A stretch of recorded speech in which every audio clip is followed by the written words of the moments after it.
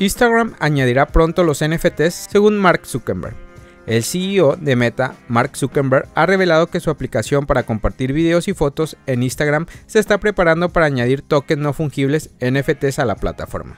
Estamos trabajando para llevar los NFTs a Instagram a corto plazo, según ha declarado Zuckerberg en una aparición en la conferencia en Austin, Texas. El fundador de Facebook no dio detalles sobre cuándo se producirá la implementación.